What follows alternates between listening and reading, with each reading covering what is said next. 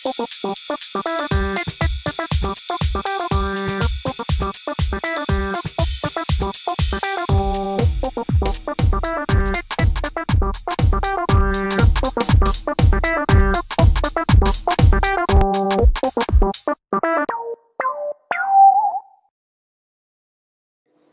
guys, this is Ian from the Apple Power Web Show, and this is a tutorial on how to make a background or banner for your website, iPhone, iPod Touch, or computer.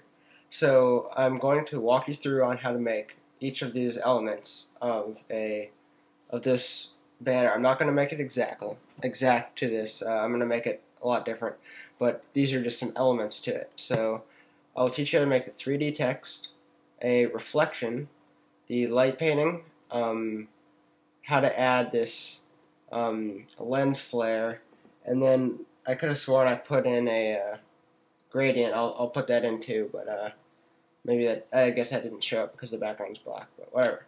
So I'll zoom out again, and then I will make a new file. So just new back.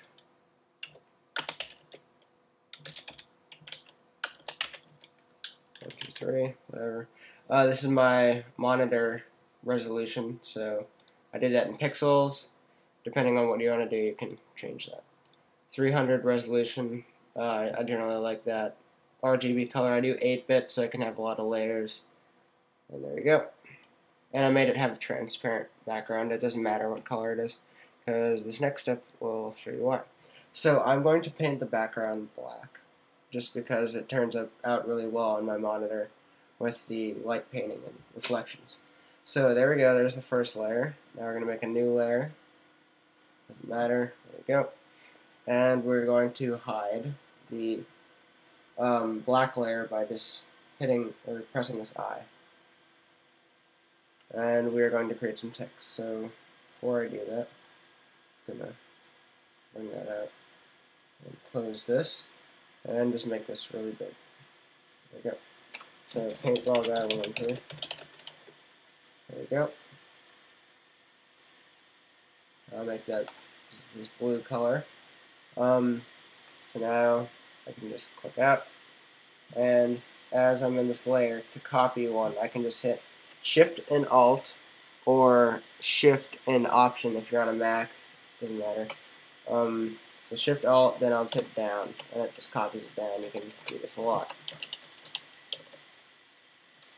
Okay, so I have one copied, so now you can see I have two of these.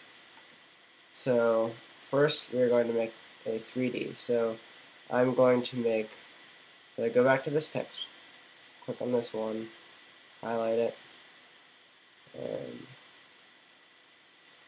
I'm going to make this white.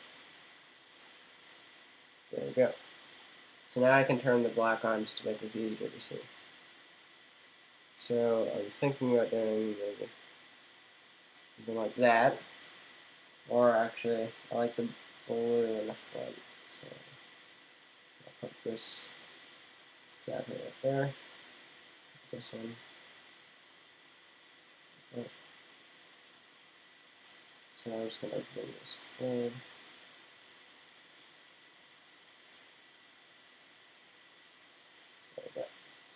So you can do it like that or I would do it like that. Oops. There you go. So that's how I'm going to have it. So I'm going to uh, group these two together so I can move them together. I back. There we go. So what you do is you come over to your layers, then you hold down the shift key and hit this one. Now they're highlighted, and you do layer, new, ah, layer new, group from layers. Uh, there we go. So now, okay, so now I'm on this. I can't move it. My layers are selected. There we go. So, there we go. So now I can move it around however I want. I'm going to put this somewhere in the middle. There we go. Um, so there's that. And now we're going to make the reflection. So, so duplicate group, text copy, and there we go. So you don't see anything yet, but you just bring this down, Okay, so now that we have our second group, we can open it up and go to each of these separately. So just choose the top one, that's what I start with. New style, gradient overlay. Um, choose foreground to transparent. Just click this little tab, double click it, change it to black or whatever color your background is, and say OK. Then go to the bottom one and repeat that last step. So overlay. I have that chosen ready. And OK. So I'm going to bring the fill of each of them down to about 80%.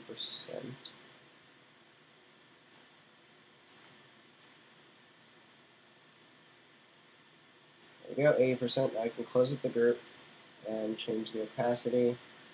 And that way down. Okay, maybe we should bring, I'm going to bring up the to about leaf 8 maybe.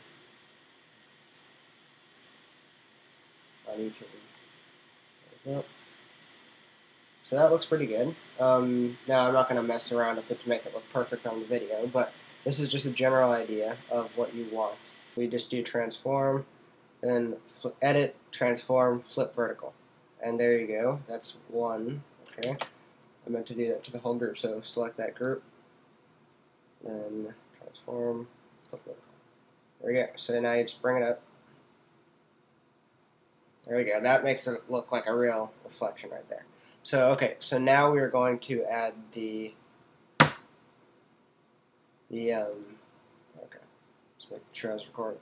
Um, just making, adding the light drawing. So we're going to create a new layer, new layer, layer two, okay. Um, I'm just going to hide everything right now. Actually, except the text. Um, so just hiding the background, the black layer pretty much. And